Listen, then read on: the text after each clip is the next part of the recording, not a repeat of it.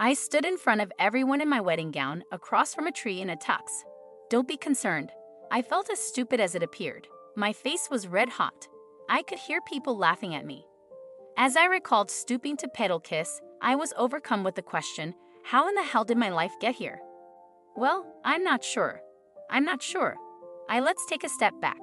Hello, my name is Chi Chi, and I understand what you're thinking. Was he attractive? But seriously, you did read the title correctly. Legally, I married a tree. And no, I'm not completely insane, only a little desperate. My family, you see, is loaded. Bill Gates pales in comparison to my grandmother. That was always something I looked forward to as a kid. According to the tedious legal documents that were written up, the moment every child in my family reaches the age of 20, they are set to receive a large sum of money. Unfortunately, I was not included in this arrangement because there was no way in hell I could make that much money on my own. My brother is a year older than me, and when I saw what happened to him after he received his inheritance, it blew my mind. He went from driving a terrible car to driving a fancy car worth half a billion dollars. He had left his dingy squat mansion. Don't even get me started on the chicks who were suddenly swooning over him. I mean, I know he's my brother, but I'm the one with the looks. I didn't really have a plan with my money. I mean, I wanted to blow a little of it because who wouldn't? But my true goal was kind of stupid. I wanted to build a bakery, so I planned to take that money, buy a bakery, a nice small house, and then live every day like a character in a silly rom com. Doesn't that sound great? I certainly thought so. But when I was 20, I discovered that my grandmother didn't think so. That morning, I awoke literally beaming. I felt like a million dollars. Probably because I was going to be handed that. I went to her residence and demanded my money. This wicked smuggler smiled in my face. I know that she's my grandmother, but I wanted to dress her up in her wrinkled old face. You've got to be kidding me, right? She told me in her crotchety, chain smoking old voice, You're not getting that money until you're married, honey. It is not acceptable for you to spend your money on items that even small floozies purchase. I apologize, little floozies. Did my grandmother just refer to me as a slacker? Not that you're a slacker, great. So my grandmother didn't think I was a jerk. I screamed at her, telling her how unjust it was that my brother had received his inheritance. What did she say with such audacity? He's an adult. He is capable of managing his own finances. You require a man. He knows how to manage his money.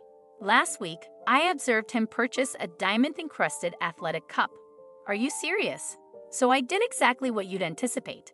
I took it out on Grandma. I walked around town, calling her sexist and old, and told her that the rule was stupid and that he shouldn't always be the favorite just because of the trash hanging between his legs.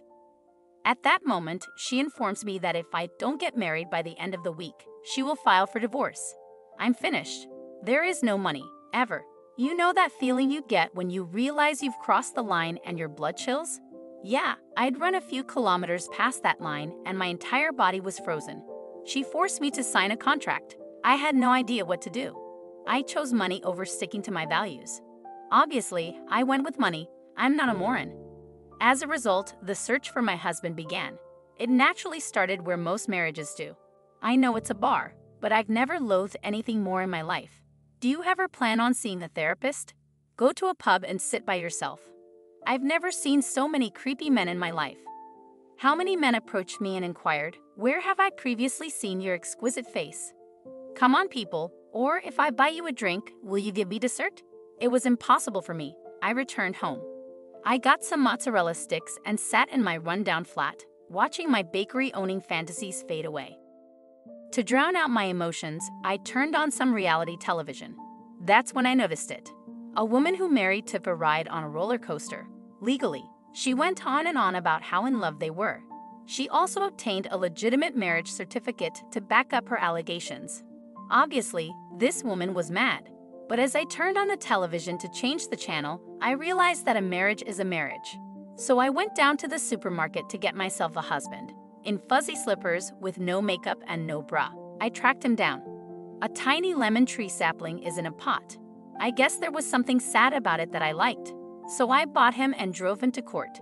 I had no choice but to do this before I lost my mind. As I approached the window and demanded a marriage license, I anticipated being thrown into a straitjacket and wheeled away immediately. The person behind the desk blinked at me and reached for the phone, as if she were ready to dial 911.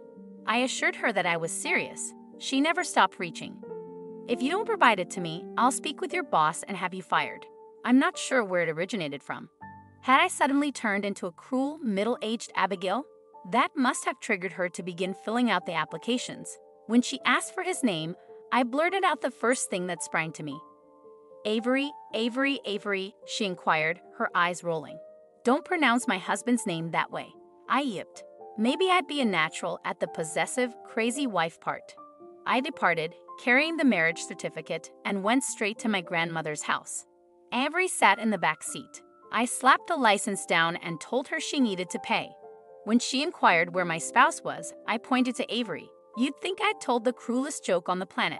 She frowned at me, her jaws clenched and her eyes rolled. Don't tell me you've gone insane, she yelled. I mean, I was, but for a reason. I told her how much I admired Avery and his sturdy branches. It sounded so stupid. When Grandma saw the contract we had signed, the truth hit her like a ton of bricks. Money equals a marriage certificate, and I had a marriage certificate. She passed a check to me.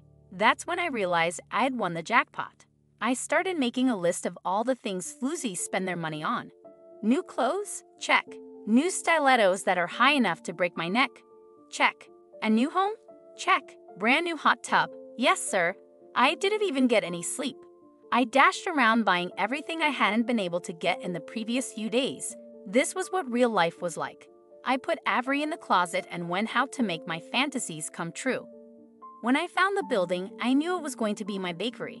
I needed to cry. Finally, I would have the life I had always desired. I hadn't even used a quarter of the money. I intended to start a business. I was going to be able to make a living doing what I loved. Everything was coming together. That's what I was thinking. Until I observed the black automobile in front of me, I went shopping at the mall. It was present. I went to the home of a Tinder date. It was present. I began driving in circles for miles to see if they were still there. I couldn't do it any longer.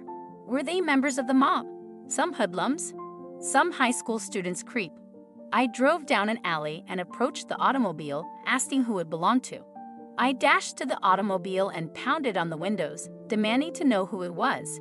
To be honest, I felt great. I felt like I was in a spy movie. I mean, a terrible one, but a spy nonetheless.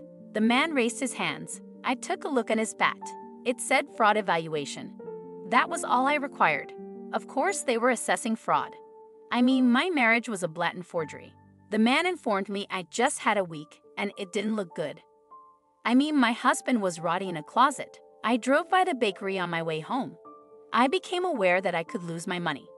It was too much for me to think of losing the bakery, my entire ambition. So I did what any insane person would do. I began to bring the lemon tree with me. We went out to eat. Avery sat across from me in the front row. I heard people whispering. It took every fiber of my being to resist calling them off, but I knew I couldn't. I had to put on a happy face. As a result, I stroked the leaves. I wanted to throw up.